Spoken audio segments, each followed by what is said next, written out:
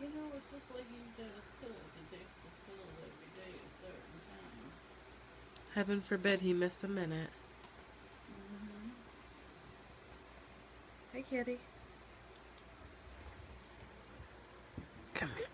Who was recording this since Jay's in the half of the good shit? Dawn. Oh, she's scared. See, she's scared. What's the matter, Joy? What's the matter, baby? Baby? I haven't seen her up here in the longest time. Mm. What are you doing? What are you doing? Where are you going? Come here. Piece always wanted to be around me, and this one doesn't want to be near me. She was with you. She was attached to you by the hip before. Yeah. But I feel like maybe she feels like I need you more. Or need her more than you need her. That's possible. Cause She won't leave me alone. She knows the shit out of me. And wakes me up in the middle of sleep. And Yeah.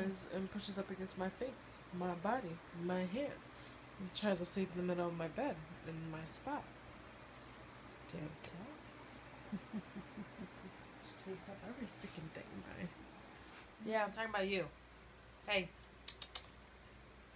See? She's mad at me now.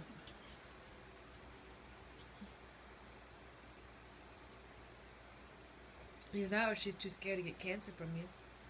Like white face. Oh, what the fuck is this on my hand? I don't know.